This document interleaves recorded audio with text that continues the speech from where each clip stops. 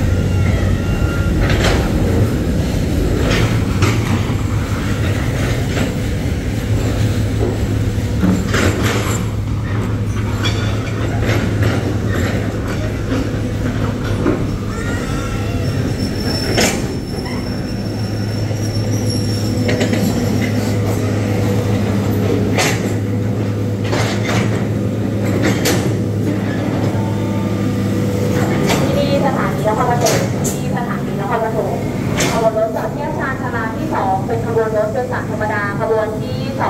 258รับส่งผู้โดยสารจากสถานีน้ำตกไปทางสถานีพลบุรี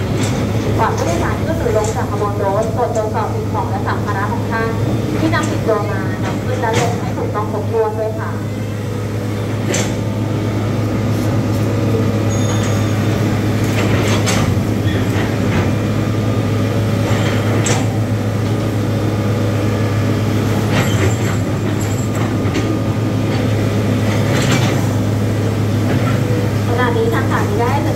para la